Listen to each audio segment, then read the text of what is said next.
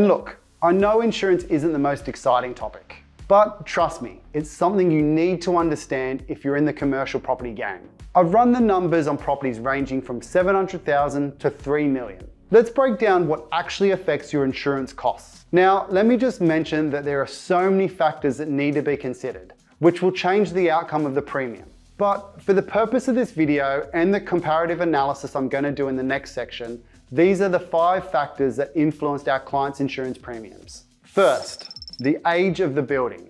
Generally, newer buildings cost less to insure because they're built to modern standards and they're less likely to have issues. Second, construction materials. Fire-resistant materials like concrete or steel typically result in lower premiums compared to more flammable materials. Third, fire protection. Having measures like fire blankets and extinguishers can significantly reduce your costs. It shows insurers you're serious about preventing damage. Fourth, security features.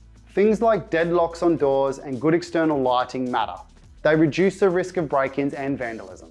And fifth, this is one that's often overlooked, the type of tenant.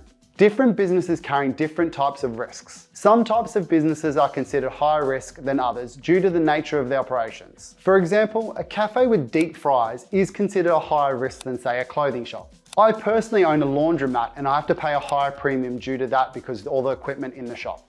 Depending on the property, I would also recommend machinery breakdown cover for things like aircon units, cold rooms, and roller doors. I guess the point I'm trying to make is that insurance is definitely more of a strategic decision in commercial compared with residential, and something that you just ensure you're doing the right due diligence on.